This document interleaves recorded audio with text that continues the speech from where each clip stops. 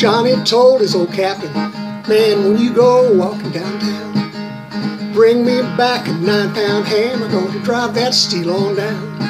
Got to drive that steel on down. You see, Johnny's hammer hit the mighty boiler. His hammer it caught on fire. Now the last word I heard that poor boy say, I want a cool drink of water before I die. Now a cool drink of water before I die.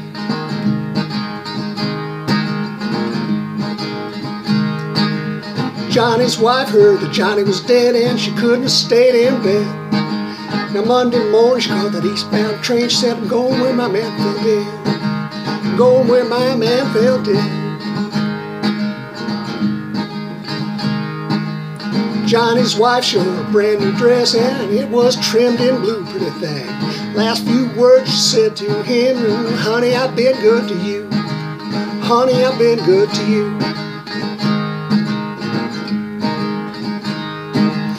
Carried little John to the graveyard.